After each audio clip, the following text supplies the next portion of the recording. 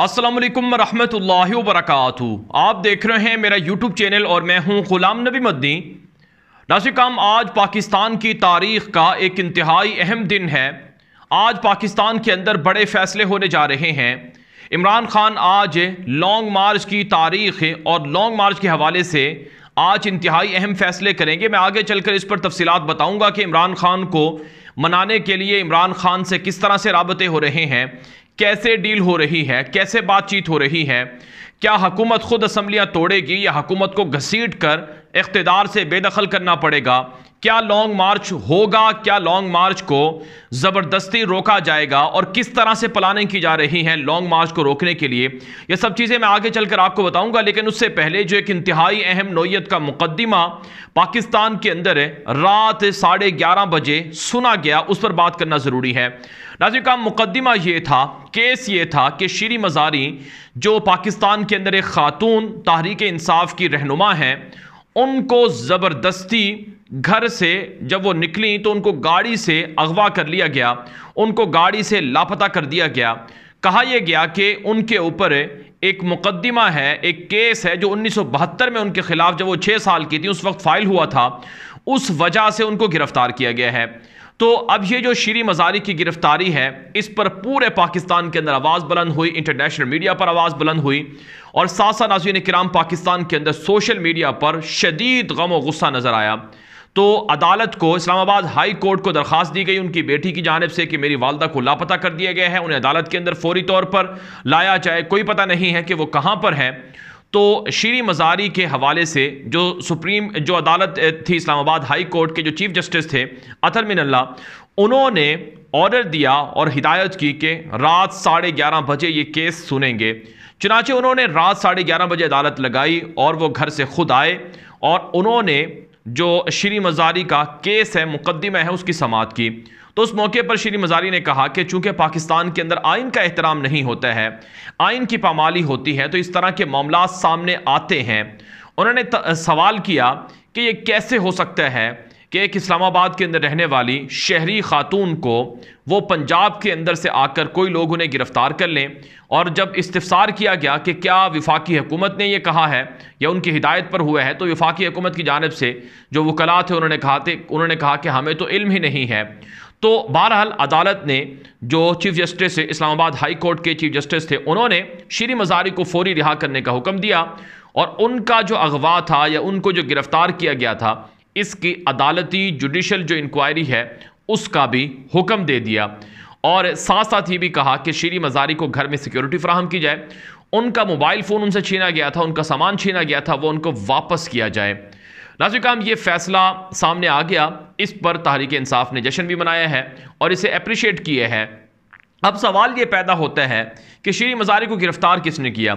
जब श्री मज़ार, मज़ारी को अदालत के अंदर जो इस्लामाबाद हाई कोर्ट अदालत है, उसके अंदर लाया गया तो उस मौके पर श्री मज़ारी ने चलते हुए सहाफ़ियों से जो बात की, उसमें उन्होंने कहा कि मुझे सही तरह से पता नहीं है कि मुझे किसने गिरफ़्तार किया और क्यों किया, लेकिन जब मुझे लाहौर लेकर जाया जा रहा था तो उस मौके पर मुझे बताया गया कि शहबाज शरीफ है और राना सनाउल्ला के हुक्म पर मुझे गिरफ़्तार किया गया है।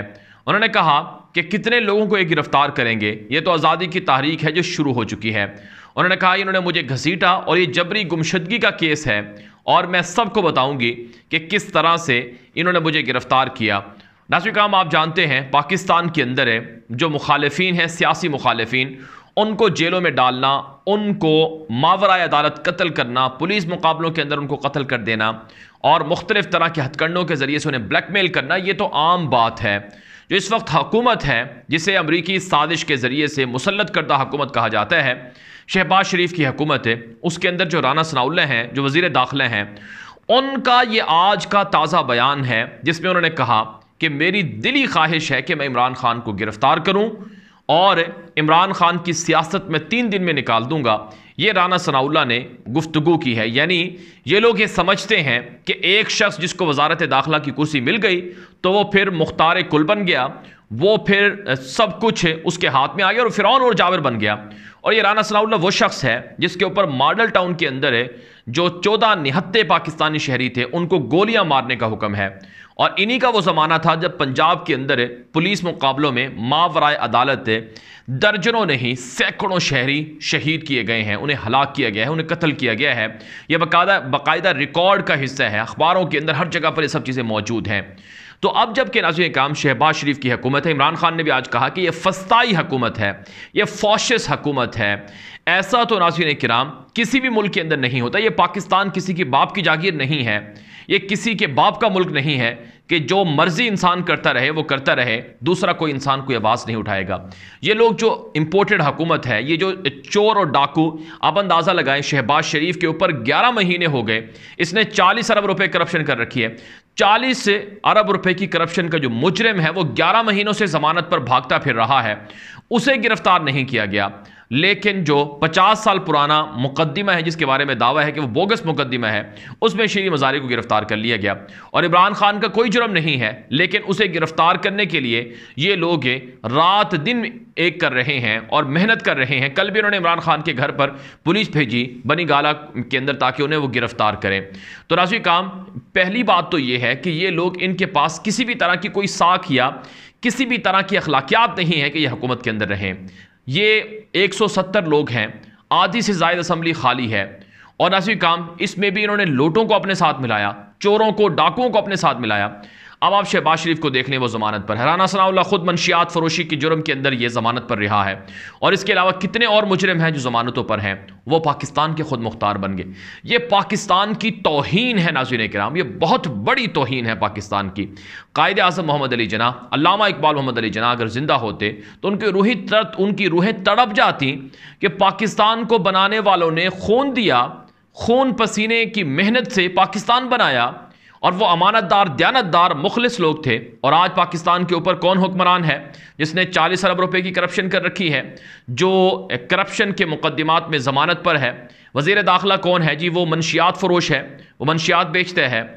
और पाकिस्तान के अंदर जो सेहत का वज़ीर है, वो कौन है? वो वो शख्स है जिसके ऊपर लियारी गैंग वॉर के मुकदमात हैं दहशत गर्दी के मुकदमात हैं और जो बाकी काबीने हैं, सत्तर फ़ीसद वो सारी की सारी जराइम के अंदर, दलदल के अंदर जराइम की गलाजत और गंद के अंदर लिछड़ी हुई है। तो अगर आज कायद अजम मोहम्मद अली जना ज़िंदा होते या बानियान पाकिस्तान ज़िंदा होते तो उनकी रूहें तड़प जाती कि कैसे खून खून दिया गया था और कैसे पाकिस्तान का हाल कर दिया गया है। इसलिए नाजीन कराम, हर पाकिस्तानी को, जिसके दिल के अंदर इंसाफ की ज़रा भी रमक है, जिसके, जिसका ज़मीर जागा हुआ है और जो समझता है कि इस मुल्क के साथ जुल्म हो रहा है, उसे खड़ा होना पड़ेगा। अब नाजिक हम बात करते हैं इमरान खान के साथ क्या डील हो रही है? क्या खुफिया मुलाकातें हो रही हैं? नाजिक काम, इमरान खान ने 20 मई को लॉन्ग मार्च का ऐलान करना था, लेकिन उन्हें कहा गया, उनको पैगाम दिया गया कि आप मेहरबानी करें, ये अभी लॉन्ग मार्च ना करें। हम आपको तसल्ली देते हैं, यकीन दहानी कराते हैं कि इलेक्शन हो जाएँगे, इलेक्शन की अनाउंसमेंट हो जाएगी और असम्बलियाँ टूट जाएँगी। कुछ हमें वक्त दे दें। इमरान खान ने दो रोज़ मोहलत दे दी, हफ़्ते का पूरा दिन और एतवार का शाम तक का वक्त दिया कि हमारी कोर कमेटी का हम इजलास बुला लेते हैं, फिर फैसला कर लेंगे। हम इतवार तक आपकी तरफ़ से जो गारंटीज़ हैं, जो ज़मानत दी गई थी तो जो यकीन दहानी कराई गई थी, उसको देखेंगे। तो नासिक हम रात गए, जुमे की रात जब इमरान खान जलसा करके वापस आए तो उनको गिरफ़्तार करने का प्लान था। उन्होंने रात जो रास्ते के अंदर से ही अपने जहाज़ का रुख पिशावर की तरफ़ मोड़ लिया और पिशावर वो चले गए। फिर नासिन कराम, हफ़्ते के रोज़ भी और पूरा दिन इमरान खान से मुलाकातें होती रहीं पैगाम दिए जाते रहे। तो इमरान खान के साथ जो जुल्म किया गया है, इस जुल्म का मदावा करने की कोशिश हो रही है। लेकिन नाजीन कराम, अंदर की बात यह है कि जो हकूमत है, ये चाहती है कि हम ना खुद खेलेंगे, ना खेलने देंगे। और इन्होंने तो इदारों को भी आँखें दिखाना शुरू कर दी हैं। यानी जिन लोगों की सपोर्ट इन्हें हासिल थी जिन लोगों के कहने पर ये बड़े बड़े फ़िरौन बन गए तो अब ये लोग उनको भी आँखें दिखाना शुरू कर दी है। तो सूरत हाल ये है कि ये चाहते हैं कि हम इकतदार ना छोड़ें, और अगर हमने इकतदार छोड़ दिया तो फिर इमरान खान दोबारा आ जाएगा, इलेक्शन भी वो जीत जाएगा। और फिर हमें दोबारा जेलों में डाल देगा। हमारे जराइम और जो मुकदमात हैं, उनकी सज़ाएँ हमें भुगतना पड़ेंगी। इसलिए चाहते हैं कि हम ना खुद खेलें, ना किसी और को खेलने दें। दूसरे लफ्ज़ों में, ये लोग चाहते हैं कि पाकिस्तान को श्रीलंका बना दें। आप ये जानकर हैरान होंगे कि सात अरब डॉलर पाकिस्तान के पिछले चालीस दिनों के अंदर उड़ गए हैं, बर्बाद हो गए हैं। पाकिस्तान का ख़जाना खाली हो गया है। पाकिस्तान डिफ़ॉल्ट की तरफ़ बढ़ रहा है। अगर पाकिस्तान को रेस्क्यू ना किया गया तो पाकिस्तान डिफ़ॉल्ट हो जाएगा। पाकिस्तान का एटमी प्रोग्राम, पाकिस्तान के इदारे, पाकिस्तान की खुद मुख्तारी सब कुछ दाव पर लग जाएगी। और आटे का बहरान, गंदम का बहरान, और न जाने क्या कुछ जुल्म अवाम के ऊपर नहीं हो रहा है। लोग बिजली को तरस गए हैं। लोड शेडिंग ने अवाम को रुसवा कर दिया है। अवाम को परेशान करके रख दिया है। तो इसलिए नासिर काम इमरान खान ने कहा गुजशत रोज़ जलसे के अंदर कि अगर मुझे पाकिस्तान की फ़िक्र ना होती तो मैं कभी भी ना चाहता कि इनको मज़ीद, इनको हकूमत से मैं हटाऊं, इनको मैं चाहता कि ये तीन महीने और रहें ताकि आवाम इनकी शक्लें देख ले। आवाम को इनका आईना पता चल जाए कि इन्होंने कितना जुल्म किया है और ये क्या हुकूमत करने के अहल हैं। तो आसफ सरदारी की शहबाज शरीफ से मुलाकातें हुई। मौलाना फजलरहमान शहबाज शरीफ को कहते हैं कि आप हुकूमत से चिमटे रहें, हुकूमत ना छोड़ें। क्यों? क्योंकि उन्हें वजारतें मिली हुई हैं। क्योंकि उन्हें पता है कि जो आवाम की सूरत हाल है, इसमें तो उन्हें कुछ सीट भी नहीं मिलने मिलने वाली नहीं है। तो इस वजह से उनकी राय ये है, और इसी तरह से आसफ जदारी की भी राय यह है कि उसका बेटा पहली मरतबा वजी खारजा बना है। कम अज़ कम हुकूमत के कुछ दिन तो मज़े ले ले लें, फिर ही जाकर हुकूमत इकतदार से अलग होंगे। तो इमरान खान आज नाजीन कराम फैसला कन मार्के का ऐलान करने जा रहे हैं। आज वो असल हकीकी आज़ादी मार्च या हकीकी आज़ादी की जंग का आगाज़ करने जा रहे हैं और आज रात तक, यानी आने वाले पंद्रह से बारह से पंद्रह घंटे बड़े इंपॉर्टेंट हैं। इसमें बड़े बड़े फैसले होने जा रहे हैं और इसके अंदर तयन होगा कि पाकिस्तान किस तरफ़ जा रहा है और किस तरफ़ खड़ा हो रहा है। इसलिए नाजु काम मैंने आपको शुरू में बताया कि इस मुल्क के साथ जो खिलवाड़ हो रहा है, इस खिलवाड़ को रोकने के लिए हर पाकिस्तानी को अपना रोल अदा करना होगा। अपना किरदार अदा करना होगा। यह वीडियो हर जगह पर आम कर दें ताकि ज़्यादा लोग ये मालूम हासिल कर सकें। मजीद खबरों के लिए मेरा नया यूट्यूब चैनल न्यूज़ की दुनिया है। उसे लास्ट में जाकर अभी सब्सक्राइब कर लें ताकि आप हमारी हर तरह की जो वीडियोज़ हैं वो उस चैनल पर भी देख सकें। अब तक के लिए इतना ही, इजाज़त दीजिए। असल वरहमल वर्का